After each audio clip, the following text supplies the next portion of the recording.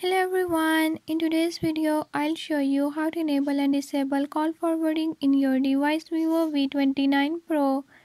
In this device Vivo V29 Pro, I'll show you how you can do it. Before I start, if you are new to my channel, don't forget to subscribe and press bell icon. Watch complete video and learn how you can do it. Let's watch the video.